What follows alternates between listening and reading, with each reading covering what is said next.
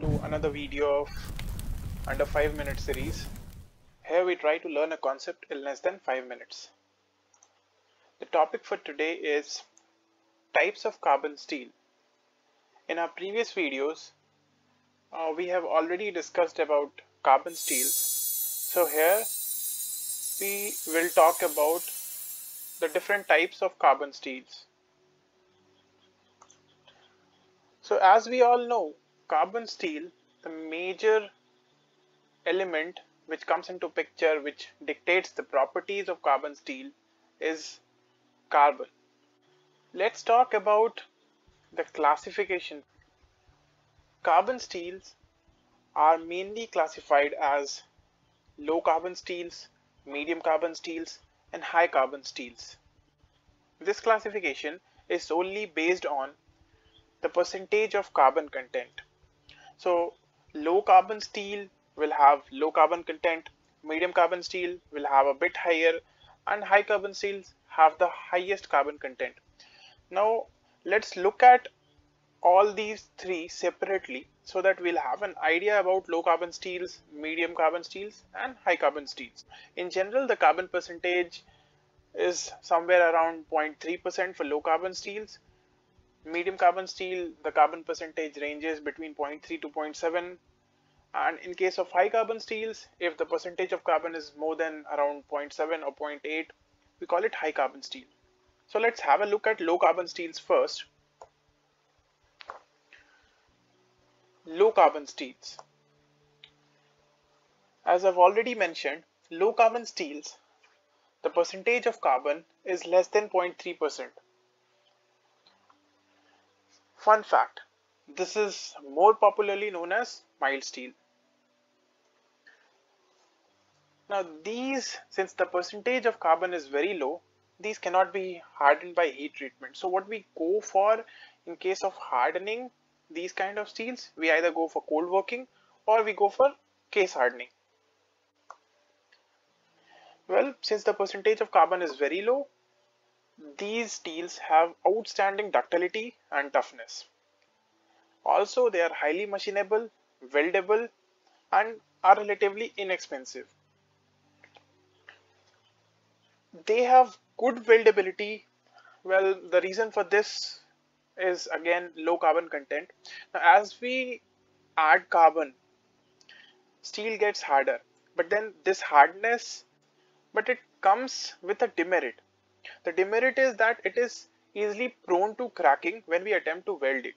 So as we move towards medium carbon and higher carbon steels, weldability decreases. So yeah, let's talk about the applications. Low carbon steels are often used in automobile body components. These are also known as structural steels. So they are used in structural shapes such as I-beams, channel, angle, they are also used for construction in some bridge components also and also in pipes and food cans. Moving on to medium carbon steels. Well, the carbon content in these steels is in a range of 0.3 to 0.7%. Since the carbon percentage has increased, so these are steels whose properties can be altered by heat treatment. Means as we increase the carbon percentage heat treatment of steels can be done at an easier level. So if you want to increase the mechanical properties of these kind of steels we go for a heat treatment. Now this heat treatment gives them a martensitic microstructure too. Now these steels are the most balanced when you compare between low carbon steels and high carbon steels. They have more strength as compared to low carbon steels because of higher carbon percentage. But then this strength comes at the expense of ductility and toughness. Medium carbon steels have good wear resistance because again carbon percentage is increased now let's look at applications. Medium carbon steels are often used for railway tracks. They also find their application in train wheels, crankshafts, gears, machinery parts.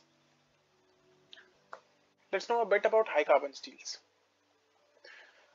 Again, these steels have a carbon content greater than 0.7%. Now, as we have more carbon content means these are the most easily heat treatable ones. But then since the carbon content is also high, they already have increased strength or enhanced mechanical properties. So out of the three carbon steels, it has the highest hardness and also because of higher carbon content, it has the highest strength. But then with increase in carbon percentage, we have a loss. We have these steels have lowest ductility. Looking at the application part of these, they are very specific.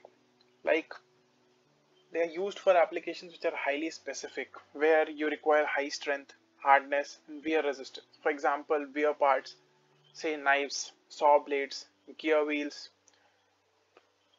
tool steels, and die steels are also high carbon steels because in those also the percentage of carbon is greater than 0.7%.